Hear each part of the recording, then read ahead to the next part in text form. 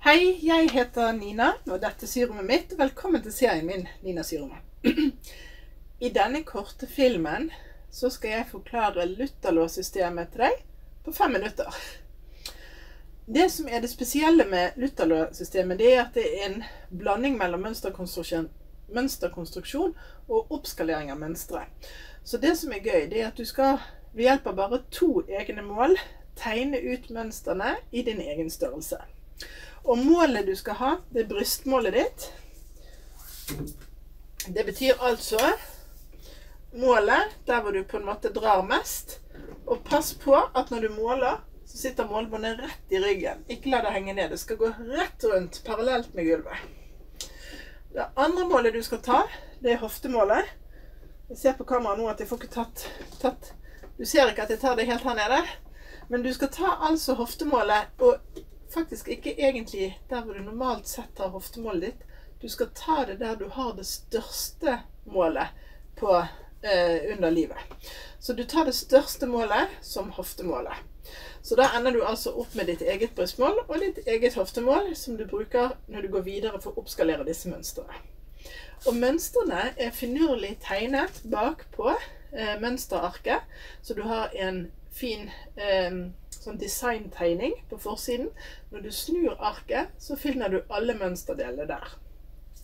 For å tegne opp mønsteret ditt i riktig skala, så har du et spesialmålbånd som har en hardplast i ene enden med en skala på, nei, på høyre side som går fra 50 til 140.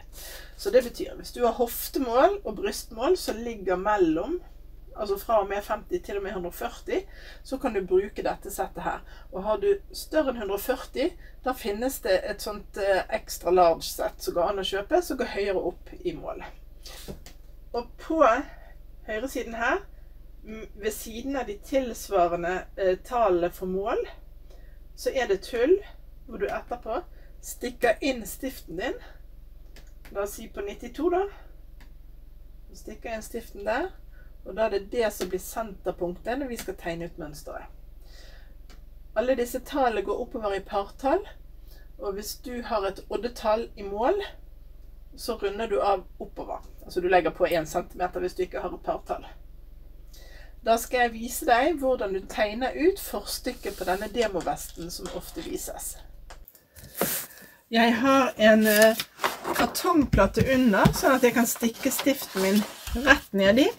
Men det trenger du ikke ha, men du bør passe på at du ikke stikker stiften rett ned i bordet. Så jeg også har en sånn pitteliten plate som jeg bare la inn i, i, mønsterheftet mitt, sånn at jeg har hvis jeg skal tegne mønster og ikke i nærheten av eh, syrommet mitt. Hvis vi f.eks. sier at eh, brystmålet er, la oss si da 100 da, jeg skriver der. Brystet lik 100. Og hofte eh, Jeg vet ikke 90, da. Dette er helt valgt eksempel, og på ingen måte mine mål. Så teiper jeg fast mønsteret mitt. Dette forstykket til vesten. Og så finner jeg målebåndet mitt med, med skalaen oppover her. Og så har jeg midt på mønsteret mitt her et kryss og en A, som betyr at dette er forstykket. Jeg skal nå stikke eh, stiften min inn på målet jeg skal bruke for å tegne A med, og så skal jeg feste det i senterpunktet her. Og nå er det viktig å være veldig, veldig nøyaktig, fordi at her er små deler, og du skal ut i parallelle linjer. Alle mål fra og med livet og opp bruker du brystmålet på. Alle mål under livet bruker du hoftemål på.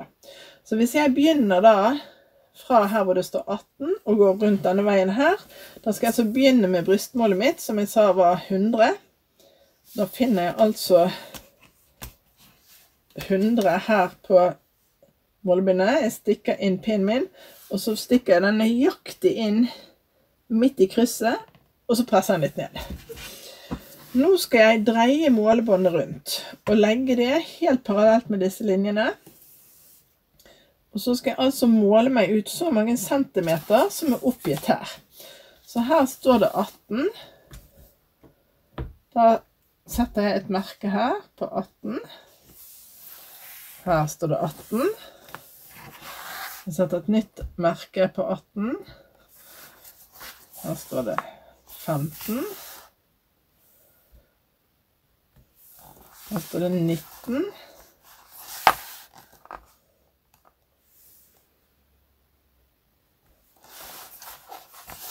Her står det 33. Nå håper jeg jeg har langt nok ark. 33. Her står det 35.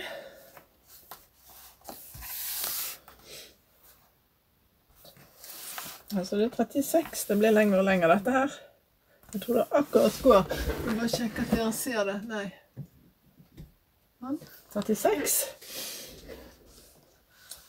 Skal vi se, nå er det den på 35, den på 36. Så neste 37,5 er helt ute i kanten. Så det er 11. 19,5. 19. Det høres ut som hoppkarakterer. Nå er neste målet mitt under livlinjen. Og det betyr at da skal jeg bruke hoftemålet. Det sa vi var 90. Så da finner jeg 90 her. Dere vil se at noen tall er røde og noen er sorte. Eneste grunnen til det er for at du skal se de lettere. Så jeg bytter nå til hoftemålet. Jeg stikker fremdeles ned på akkurat samme plassen i krysset. Og så måler jeg meg ut her. Den sier da 20. Den sier 21. Og den sier 26. Sånn. Da kan jeg ta vekk målebåndet og stiften. Her nede så har jeg altså en rett strek, det vet jeg. Jeg liker å begynne med de rette strekene.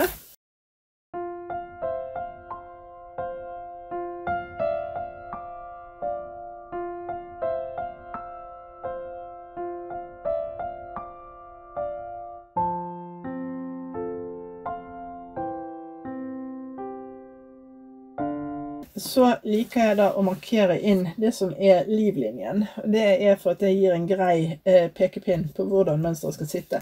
Og det er altså den som går fra 18 og er parallell med den nederste linjen.